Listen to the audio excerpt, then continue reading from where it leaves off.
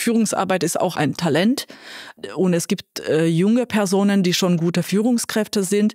Ich persönlich glaube aber, dass man, äh, wenn man länger in der Führungsarbeit tätig ist und viel mit unterschiedlichen Menschen gearbeitet hat, dass man natürlich diese Führungsrolle dann immer auch besser ausüben kann und ausfüllen kann.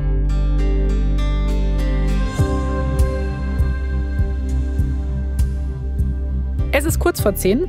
Wir stehen im Podcast-Studio. Ich habe meine Kopfhörer schon auf, das Mikrofon läuft und ich freue mich total auf die heutige Aufnahme von Frau Doktor übernehmen Sie, weil wir nämlich eine Premiere haben.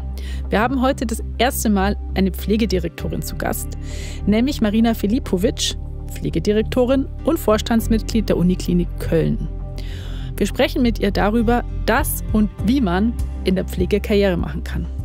Mein Name ist Julia Rotherbel, ich bin Chefredakteurin der Apothekenumschau und ich wünsche euch jetzt ganz viel Spaß beim Zuhören. Frau Doktor, übernehmen Sie. Ein Podcast von Gesundheit hören und Apothekenumschau Pro.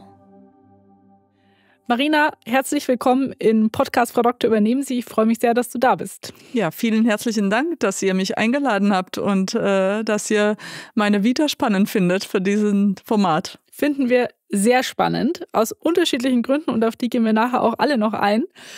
Die erste Frage, die ich dir gerne stellen würde, du bist ja seit 2020 Pflegedirektorin. Du hast dir also für den Anfang einen Moment ausgesucht, der gerade in der Pflege viele Herausforderungen beinhaltet hat. Da hat die Corona-Pandemie so richtig Fahrt aufgenommen. Ähm, hättest du dir vielleicht einen anderen Einstieg gewünscht? Wie war das damals für dich? Ja, ich habe äh, wirklich darüber nachgedacht, ob ich diese Corona-Pandemie nicht persönlich nehmen soll. um diese Krisen, die irgendwie mit meinem Karrierebeginn äh, angefangen haben. Äh, ich habe ja, hattest du ja gesagt, im Januar 2020 ähm, habe ich die Position der Pflegedirektorin ähm, begonnen, äh, beziehungsweise habe ich gestartet in dieser Rolle. Und wir hatten dann im Januar hier bei uns eine Krise, die sich als sehr große Krise damals angefühlt hat. Wir hatten nämlich einen Bombenfund hier auf dem Campus. Oh, das auch noch. Äh, genau, und wir mussten damals auch eine Intensivstation evakuieren. Und das ist ja immer eine große Herausforderung. Das haben wir sehr, sehr gut gemeistert. Und als ich dann gedacht habe, okay, die Feuertaufe ist bestanden, äh, dann kam Ende Februar in der Tat ähm, begann für uns äh, letztendlich das Thema Corona, weil mhm. wir den Initialpatienten hier bei uns in den Ambulanzen hatten. Mhm. Und das war eine Phase, wo wir noch äh, wenig Wissen über Corona hatten und wenig Kenntnisse über die wirksamen Maßnahmen mhm. bei einer Corona-Infektion und haben uns aber relativ rasch dann auch sortiert und äh, konnten dann wirklich äh, sehr gute Maßnahmen in die Wege leiten und äh, ja sogar im Frühjahr jetzt in 23 sogar äh, Teil dieser Maßnahmen immer noch verfolgt. Wie hast du denn damals das im Team aufgefangen? Also ich stelle mir vor, dass da große Verunsicherung geherrscht hat. Wie hat sich das in deinem Team gezeigt und wie hast du versucht, die Mitarbeiterinnen und Mitarbeiter trotzdem zu motivieren und ihnen Sicherheit zu geben? Ich habe einen sehr großen Vorteil. Äh, ich kannte die Uniklinik vorher. Ich habe 2003 hier in der Uniklinik angefangen zu arbeiten in der Intensivpflege und äh, habe viele verschiedene Bereiche kennengelernt und von daher ähm, war auf jeden Fall äh, diese Kennenlernphase nicht notwendig mhm. in dem Sinne, so dass wir direkt auch auf die Arbeitsebene kommen könnten und das war eine Situation, wo wir alle zusammengerückt sind, äh, weil es eben eine Krise war, die noch nie da gewesen ist, nie, also in diesem Ausmaße auch noch nie da gewesen und alle waren auch natürlich äh, hoch motiviert, um diese Krise auch gemeinsam zu hm. bewältigen. Schön, okay.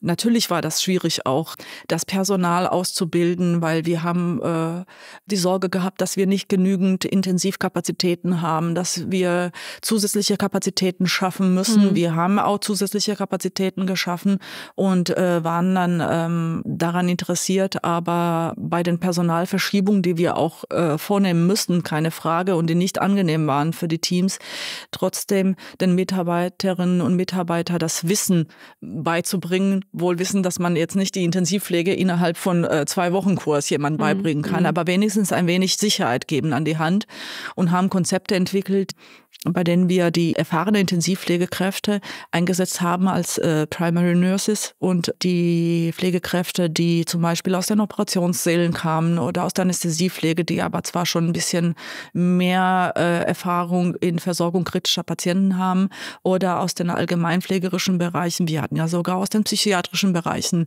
Personal äh, in der Somatik eingesetzt. Hm das haben wir behutsam äh, gemacht, geschaut auch immer, dass es auf äh, möglichst auf freiwilliger Basis ist, weil ähm, wir das äh, für einen besseren Weg halten und äh, die Mitarbeiter sind dann auch motivierter. Marina, ich würde an der Stelle gerne von 2020 zurückspringen zu 1991. Auch da hast du dich einer persönlichen Herausforderung gestellt. Du bist vom heutigen Kroatien nach Deutschland gekommen als ausgebildete Krankenschwester, aber ohne Deutschkenntnisse. Wie hast du denn diese Herausforderung gemeistert?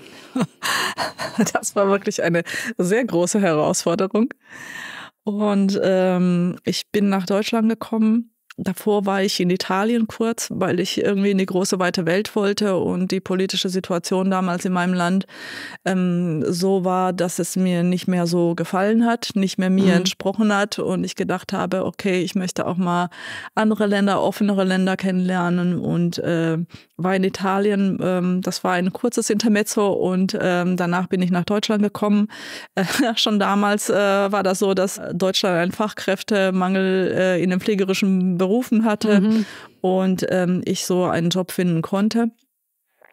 Und ähm, meine finanzielle Situation war ja so schlecht, dass ich ja nicht mal einen Kurs äh, besuchen konnte und äh, okay. habe dann wirklich zu Hause äh, Deutsch gelernt und habe dann aber auch relativ rasch angefangen zu arbeiten und in der Arbeit oder parallel zur Arbeit konnte ich auch meine Sprachkenntnisse weiterentwickeln mhm. und ähm, ich hatte ja aber das Glück, dass ich ähm, auf der Arbeitsstelle, wo ich gearbeitet habe, eine alte Dame äh, versorgt habe, die eine promovierte Germanistin gewesen ist. Okay. Ja. Der Name war dementiell verändert, aber was sie konnte, ist eben ähm, sehr gut heraushören, ähm, dass ich ähm, kein Deutsch beherrsche. Und äh, in den Gesprächen mit mir hat sie mich immer korrigiert und okay. die deutsche Grammatik beigebracht und ähm, das waren meine Anfänge, das richtige Deutsch zu lernen. Und ähm, als ich nach Köln gezogen bin, habe ich aber wunderbare Menschen kennengelernt.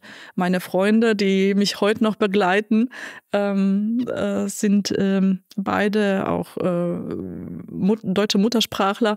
Und so hatte ich irgendwie immer Glück, dass Menschen um mich herum waren, die äh, hervorragend äh, Deutsch beherrscht haben. Okay. Du hast dann mehrere verschiedene Jobs in der Pflege gehabt und dann kam irgendwann diese Uniklinik ins Spiel, an der du heute noch bist und an die du unbedingt wolltest.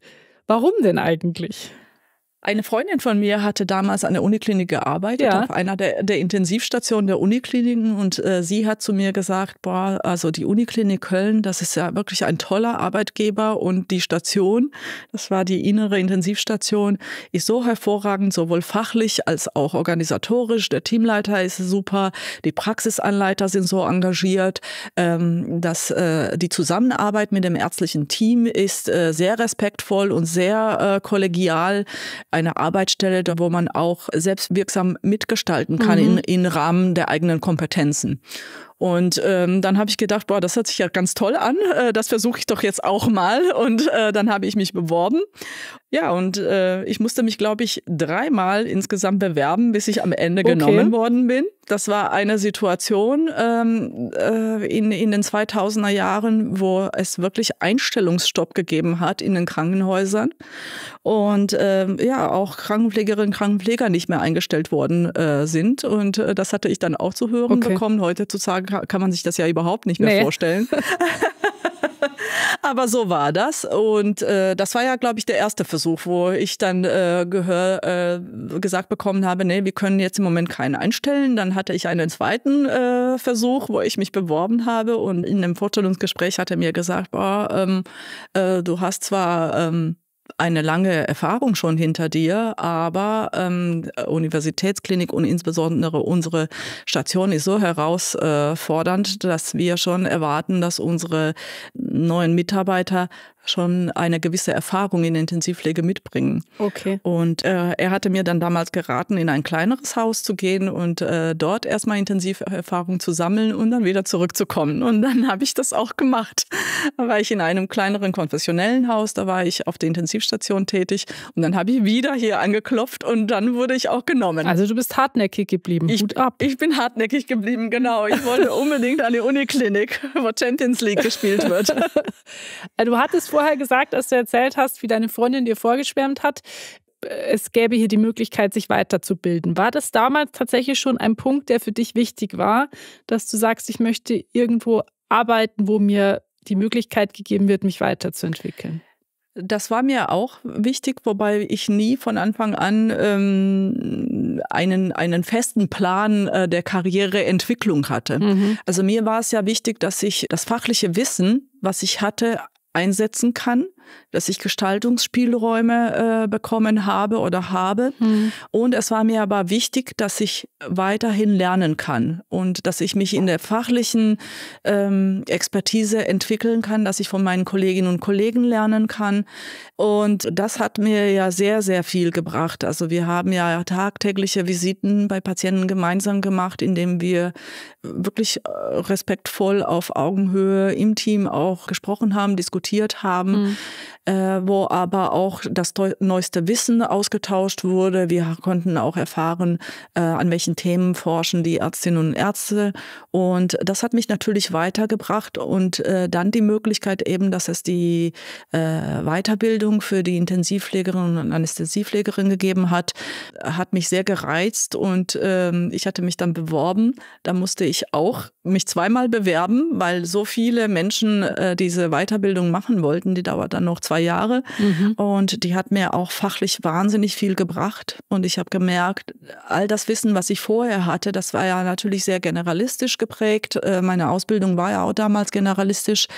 Ich, ich hatte auch immer versucht, äh, mir das äh, notwendige Wissen auch anzueignen, was gebraucht wurde für die Tätigkeit in der Intensivpflege. Ähm, habe aber gemerkt, als ich in die Weiterbildung gekommen bin und als insbesondere als ich sie absolviert habe und dann in den Bereichen war, äh, die ich zuvor nicht gesehen habe. Zum Beispiel kam ich in die Herz- und Thoraxchirurgie. Mhm. War, war ich dann äh, viel schneller in der Lage, mir das neue Wissen auch anzueignen und selbstständig zu Themen zu erarbeiten, dass der Stresslevel äh, plötzlich auch niedriger war, obwohl okay, die, die mhm. äh, Patientenzustände sehr herausfordernd mhm. waren. Und äh, von daher hat mir das in meiner alltäglichen Arbeit und für meine eigene Resilienz auch sehr viel gebracht.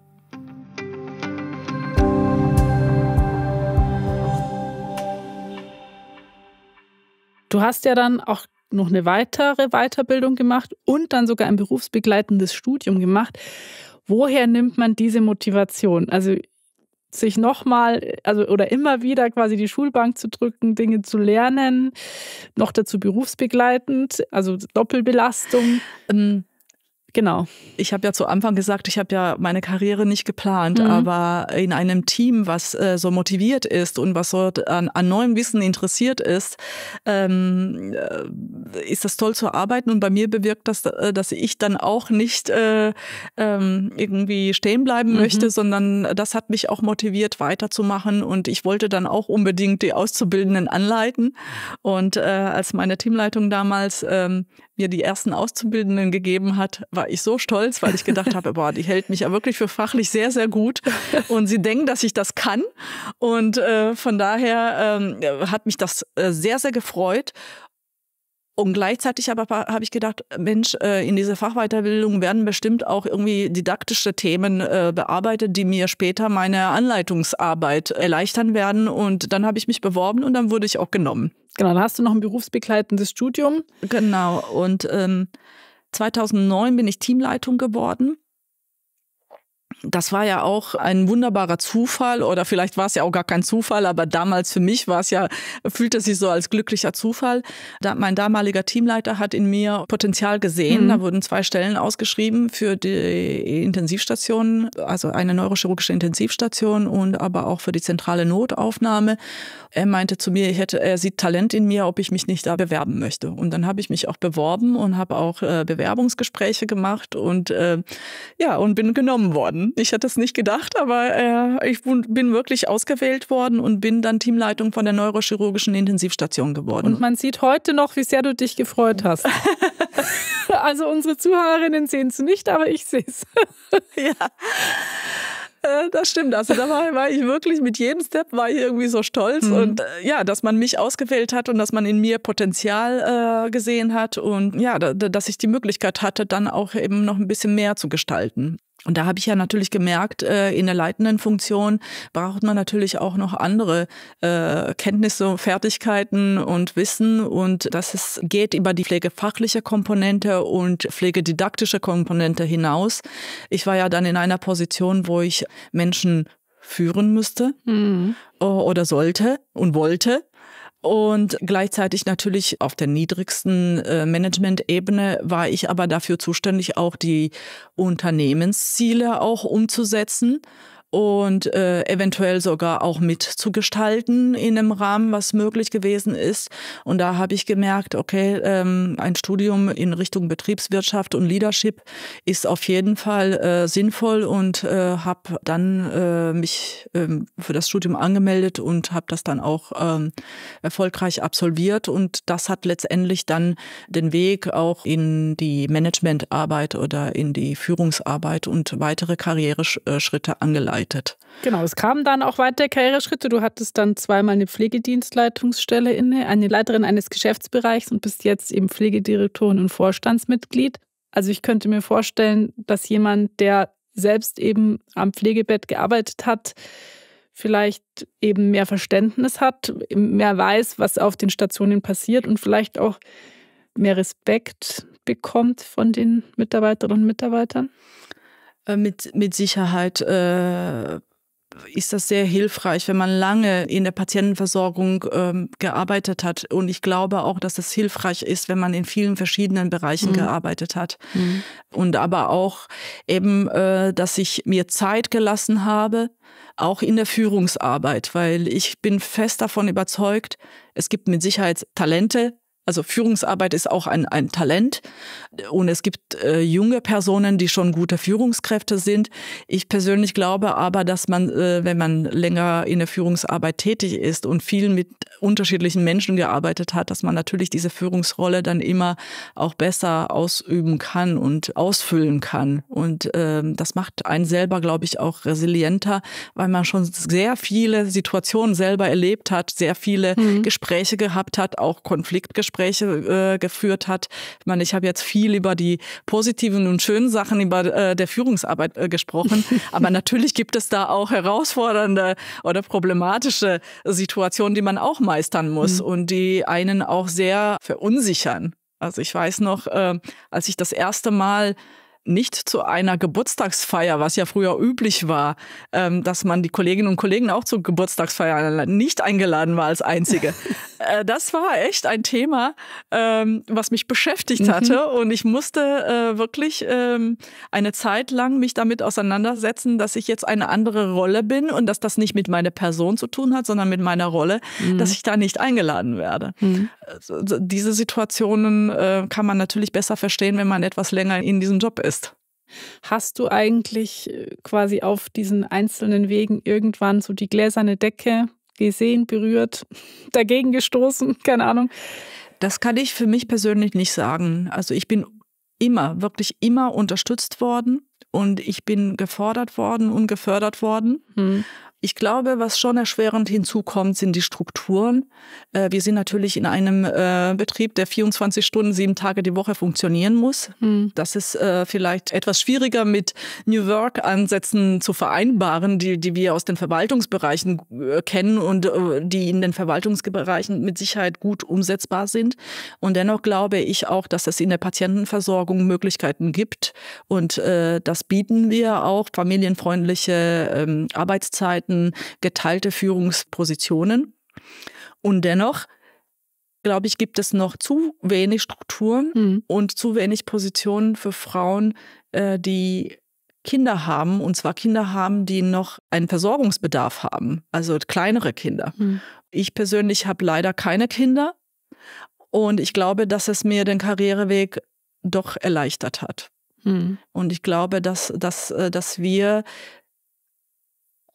also ich als, als, als Pflegedirektorin und äh, meine Kolleginnen und Kollegen, die in diesen Positionen sind, äh, das ist aber auch unabhängig äh, der, der Fachrichtung, dass wir diejenigen sind, die die Strukturen schaffen müssen, damit die Frauen eben auch, obwohl sie Kinder haben, trotzdem eine Karriere machen können, egal in welchem Bereich es ist. Ob es jetzt der Pflegebereich ist, ob es die Führungsarbeit in der Pflege ist oder zum Beispiel die Ausbildungskarrierewege oder die fachliche Karrierewege oder aber auch in der Medizin Medizinbereich, auch in der Forschung äh, muss es eben beides vereinbar sein. Ich meine, wir sehen ja in beiden Bereichen, also im pflegerischen Bereich gibt es über 80 Prozent Frauen. Ja. Bei den Medizinstudierenden äh, sind das ja jetzt auch sehr hohe Zahlen. Ich glaube, deutlich über 60 Prozent sind Frauen. Ja. Und wenn wir im umgekehrten Falle sehen, wie viele sind dann ähm, wirklich in den hohen Forschungspositionen oder hohen äh, oberärztlichen Positionen, da sind oder chefärztlichen Positionen, äh, dann sind das doch nicht mehr so viele. Und ich glaube nicht, dass das daran liegt, dass die Frauen nicht fähig sind, sondern es liegt an den Strukturen, dass man es vielleicht nicht vereinbaren kann. Und ich weiß das auch nicht, ich habe ja viel jetzt auch darüber gelesen, dass eigentlich immer weniger äh, Menschen aus der neuen Generation, egal ob Männer oder Frauen sind, eigentlich in, äh, in die Führungslaufbahn äh, ähm, möchten, weil sie das auch für sich nicht sehen, herausfordernd sehen. Mhm. Und ich glaube, da werden wir uns in Zukunft auch umstellen müssen, dass man äh, diese Rollen auch neu definiert. Weil du gerade gesagt hast, je höher man guckt, desto weniger sind dann da Frauen. Ich habe mir mal den Vorstand des Uniklinikums angeguckt und festgestellt, du bist die einzige Frau. Ist es nicht auch so ein bisschen Klischee, dass die Pflege da jetzt von einer Frau vertreten wird, die Ärzte und die kaufmännische Seite wird von Männern vertreten? Habe ich mir so im ersten Moment gedacht. Empfindest du das so? Oder wahrscheinlich nicht, weil du mittendrin bist. Aber von außen habe ich echt gedacht, ah ja. Naja, ich bin ja ähm, wir haben ja immerhin mich als Frau. Ja. Und äh, das, das ist natürlich selbstverständlich, also äh, nicht, es ist nicht selbstverständlich, dass, äh, dass äh, Pflegedirektion von einer Frau angeführt wird. Vielleicht entwickelt sich das, aber ich glaube, in einem pflegerischen Beruf äh, haben Frauen eher diesen Karriereweg für sich nicht so gesehen wie die Männer. Hm. Und äh, was uns betrifft, ist eben, bei uns ist ja wenigstens ein Fünftel Frau und äh, ich glaube, dass das äh, ein Zufall ist. Äh, ich weiß, dass äh, das Universitätsklinikum und die Universität selbst sehr darauf äh, bedacht ist, auch sehr gute Frauen zu uns äh, ins Unternehmen zu holen oder an die medizinische Fakultät. Und natürlich muss auch die Fachlichkeit äh, passen, auch die Erfahrung passen, die dann äh, gerade für diese Position notwendig ist. Und wir haben den Vorteil, dass unser Vorstandsvorsitzender schon sehr lange bei uns ist und das bietet auch viel Stabilität. Und ich konnte mir vorstellen, wenn in ein paar Jahren ähm, es vielleicht auch dazu kommt, dass manche Vorstandspositionen äh, auch neu besetzt werden, dass das Universitätsklinikum Köln mit Sicherheit auch offen ist äh, für Frauen in diesem Bereich. Kann man als Pflegedirektorin auch Vorstandsvorsitzende werden? Bei uns in unserer Satzung nicht. Okay. Okay.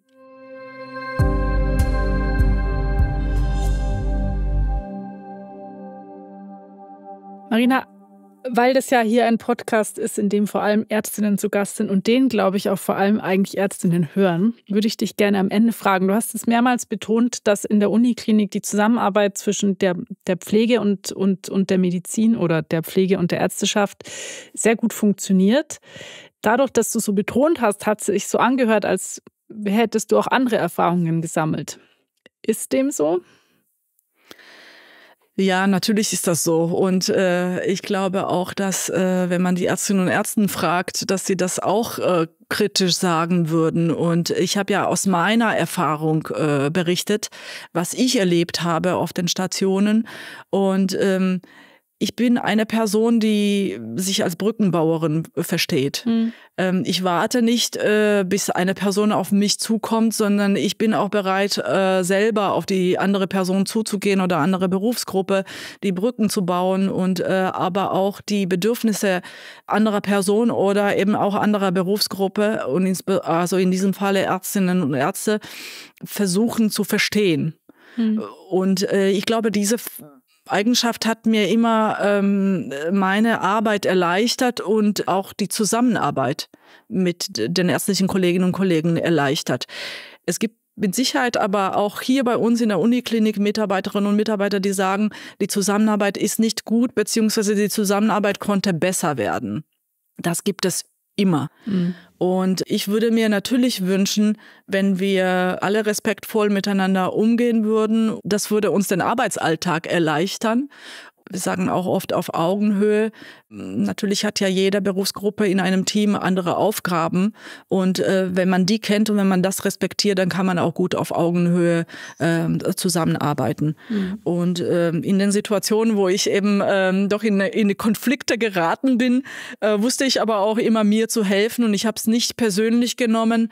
Und das sagt ja eher etwas über das Mindset äh, einer anderen Person als über mich selbst. Ich glaube, mhm. ich hatte oft genügend Selbstbewusstsein, um das nicht so an mich heranzulassen. Äh, Aber wir haben natürlich Teamkonflikte, auch interprofessionelle Teamkonflikte auch hier erlebt. Und da haben wir viel Führungsarbeit mit äh, reingesteckt, also investiert und äh, haben uns ja auch wirklich ähm, Supervisoren und, und externe Coaches oder interne Coaches auch geholt, um eben wieder Teams auch aufzubauen du bist ja jetzt quasi im Management angekommen und bist ja jetzt nicht mehr in der Pflege praktisch tätig. Was würdest du sagen, was vermisst du von deiner früheren Tätigkeit als Krankenschwester, jetzt im Management? Was würdest du gerne trotz der neuen spannenden Aufgaben eigentlich machen? Also das, was ich vermisse, ist dieses das direkte Gefühl, einen Menschen geholfen zu haben in der Genesung hm. oder aber die Genesung hört sich ja immer so ganz groß an und wir haben Patienten, die wir nicht ganz heilen können. Aber die pflegerische Aufgabe ist, den Menschen zu unterstützen, in dieser Erkrankung Leid zu vermeiden und ein Stück Selbstständigkeit wiederherzustellen oder ein ganz großes Stück Selbstständigkeit wiederherzustellen oder aber zu erhalten. Und wenn ich gemerkt habe, dass meine Arbeit das bewirkt hatte, dann war das ein sofortiges Gefühl der Sinnhaftigkeit und des Erfolgs. Hm. Hm. Und das ist natürlich jetzt hier in der Managementrolle äh, und vor allem in dieser Position nicht mehr gegeben. Jetzt ist dieses Gefühl des Erfolgs und der Zufriedenheit und des hohen Selbstwirksamkeitsgrades dadurch, dass ich merke, dass ich einen Gestaltungsrahmen so oder einen Rahmen so gestaltet habe, dass die Mitarbeiter ihren besten Beitrag für die Patientenversorgung für das Unternehmen leisten könnten. Hm. Und ähm, Manchmal äh, gibt es Situationen, wo ich in einem Gespräch das sofort spüre und manchmal stellt sich dieses Gefühl eher über einen längeren Zeitraum, weil das sind ja alles Prozesse, die ein bisschen Zeit auch brauchen. Marina, was man auf jeden Fall in diesem Gespräch, finde ich, gespürt hat, ist, wie sehr du für diesen Beruf und für die Pflege brennst. Und ich finde es total schön, dass man an deinem Beispiel zeigt, dass man in der Pflege sehr wohl Karriere machen kann. Und ich sage vielen Dank, dass du unsere Gästin warst. Vielen Dank, dass ihr das Gespräch mit mir geführt habt. Sehr gerne.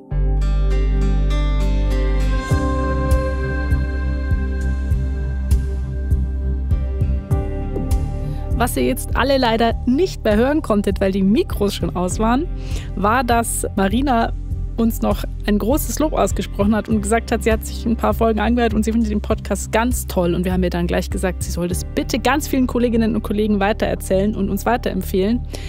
Und dann habe ich mir gedacht, eigentlich könnte ich euch das auch sagen. Wenn ihr also diese Folge oder diesen Podcast generell super findet, empfehlt uns gerne weiter. Frau Doktor übernehmen Sie erscheint immer montags, alle 14 Tage neu.